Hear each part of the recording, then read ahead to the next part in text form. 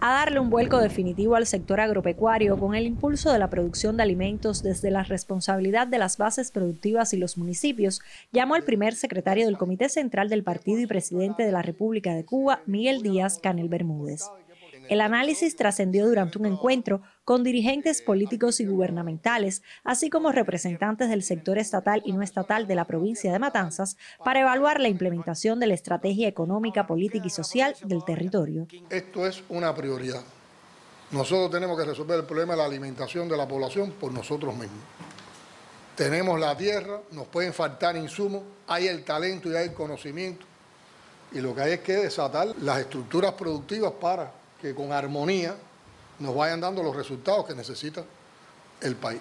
Y tenemos que apropiarnos de la convicción de que tenemos que salir y superar el bloqueo sin que nos los quiten con nuestro propio esfuerzo y con nuestro propio talento, trabajando desde la base.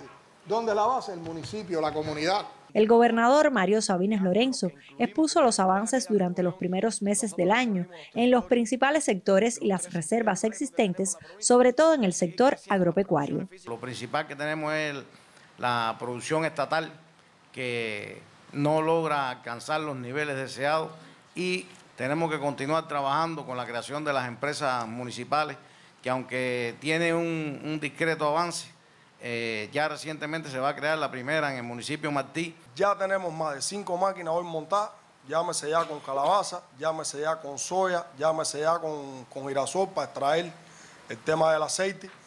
Vamos a sembrar este mes ya más de seis cuadrantes ya con boniato, tenemos plátano y vamos a sembrar yuca. Es decir, que en total el reto es 33 cuadrantes con más de 240 hectáreas con estos cultivos rústicos en esta segunda rotación del verano ahora que no se siembra mucho grano. La miembro del Comité Central y primera secretaria del partido en Matanza, Suseli Morfa González, se refirió al trabajo político y ideológico y a los compromisos de la militancia para impulsar las diferentes tareas. Las intervenciones pusieron a relieve las inmensas reservas existentes en el orden productivo y cómo se puede hacer más desde los sistemas locales para revertir los niveles de entrega de tierra, la comercialización y los altos precios. Nosotros necesitamos empoderar a los municipios, preparar cuadros, buscar cuadros. El papel del fortalecimiento del intendente y los vicentendentes clave es la actividad ejecutiva, administrativa, son los que tienen que realmente saber echar números, saber negociar, saber discutir eh, con cualquiera de los actores económicos del territorio. El hombre y la tierra que produce es lo más importante. Es un concepto que tenemos que tener identificado. Si ese es el más importante, hagamos una pregunta. ¿A dónde vamos? Los que producen necesitan del cariño y la atención de la gente. Y también para ir a la segunda etapa, que se trata del compromiso.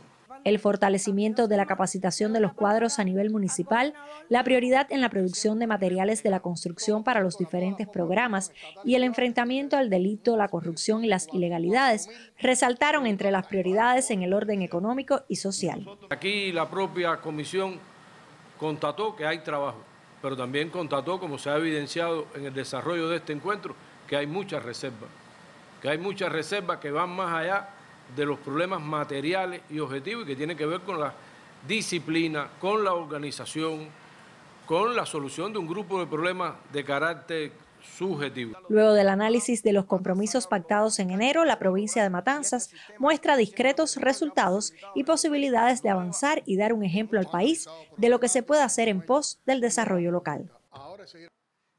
Desde Matanzas, Héctor Naranjo y Eliane Taguas Merino, Sistema Informativo de la Televisión Cubana.